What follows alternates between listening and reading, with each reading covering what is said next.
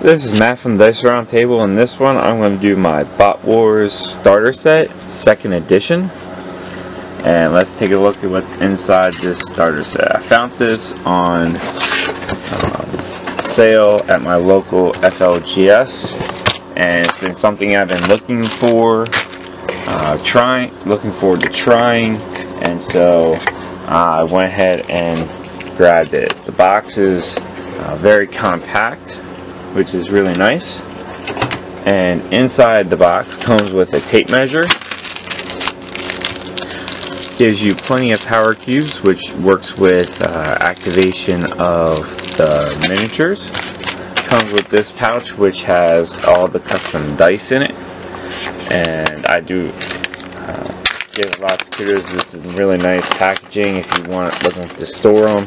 Uh, does come with red dice, black dice. Comes with one regular D6 for the game, and there's also purple dice. And the dice are for um, your attacks, you're rolling for defense, you have critical dice, and so forth. So it does come with your custom dice there, the little pink cubes, and then you do get cards for all the figures in the pack. So this tells you your cubes, here's your stats for the game, health tracking, so if you slide this into a card sleeve, you can write on the card, really great. So the starter comes with Atlanticans and Valiants. So there we go. The Atlanticans, you have this little like crown as their icon, points, and their special abilities are at the bottom.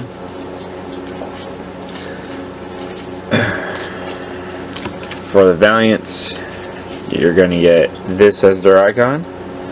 And then these are your cards that you get in here.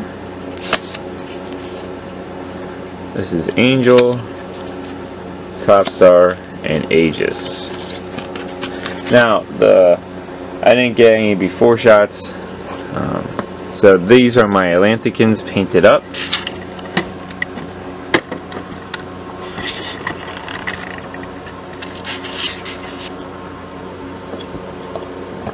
What I did is uh, the bases do come separate.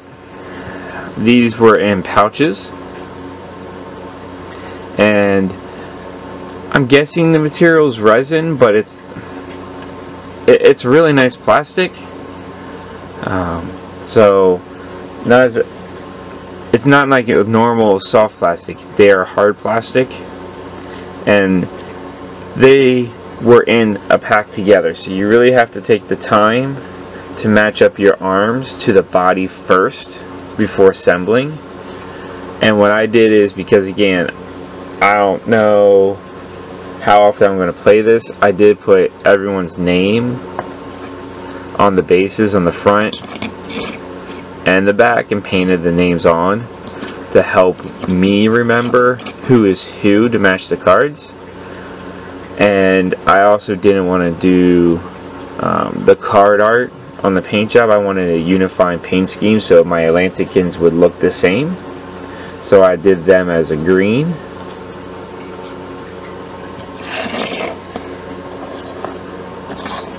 Then my Valiants, again, I, I did put their name on the bottom of their base, on the front and back.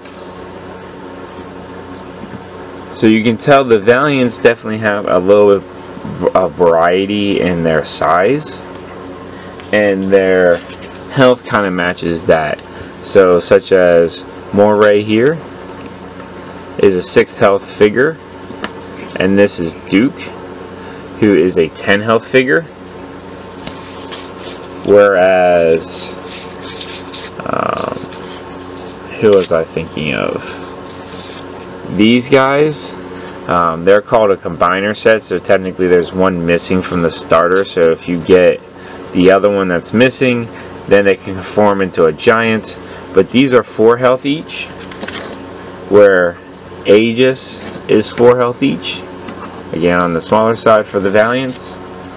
And top stars 4 health Angel is a little bit taller, so she's 5 health.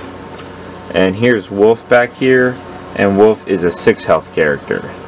So, their size does kind of impact. Now, Wolf is a 6 um, health figure, but he's on a smaller base. So the bases don't always match up to necessarily the health or um, even value because Moray's 9 points and Angel's 9 points where Wolf is 12 points. So the base size uh, I think is based on the, the designer's choice. Um, I feel like Moray and Stingray could have been on a smaller base like Wolf but it is what it is um, what I also did with mine is because I store them in a magnetic base tray is I actually put a washer inside of their bases.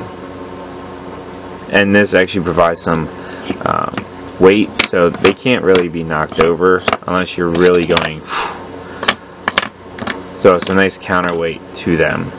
So if you're interested in Bot Wars I'm going to do some plays with my starter set that will be recorded but this is going to be the first unboxing. I'm really excited with how these painted up really nicely. I was torn with a couple different ideas on the Valiant paint scheme, but I went with this blue and white paint scheme, which I think turned out really well. Thanks for watching. Any questions, drop in a comment. Please subscribe to the channel. Um, like the video if you appreciate it. Um, and talk to you next time.